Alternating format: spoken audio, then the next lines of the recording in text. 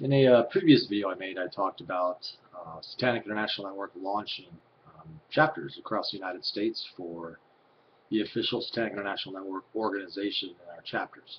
Well, we have done so. We have about 15 throughout the United States, ranging all the way from California to New York, from Florida to Portland, and all the way in between Texas. And the list goes on. I didn't write them down, but it's growing every day. We add another chapter.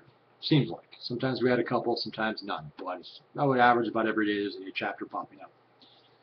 Well, I got to uh, to hold the uh, the official first uh, Satanic International Network organization chapter meeting uh, here in San Diego.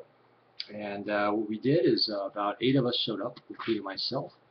What we did is we just made it a real like light-hearted meeting. We uh, barbecued, grilled some food, and then we took it into re a recreational room, which has like a big screen TV and a nice table and couches, fireplace, shit like that. It's, you know, kitchenette. Uh, it was really nice. It was really cool. We had a good time. You know, thanks for those that showed up, and uh, we're going to try to make this like a monthly thing. Um, you know, as time allows for everybody, of course.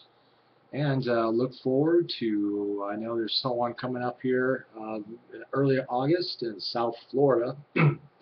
a location to be announced by our chapter head down there in South Florida, uh, Jason Graves. Uh, yeah, and there's the chapters are all over the places. California, there's uh, San, San Diego, Los Angeles, uh, San Francisco, there's Portland, there's one in Washington. The West Coast is almost completely covered. Not quite, but it's almost there. And uh, working on the East Coast. But uh, back on topic, Zach, yeah, um, thanks for all those that showed up for the Southern California San Diego chapter meeting. Uh, great success. We had a good time. Good people. You know, uh, we talked about topics from the occult, left-hand path stuff, Satanism, uh, did some tarot card readings. It was pretty lighthearted. It was pretty much just a meet and greet for being the first official meetup.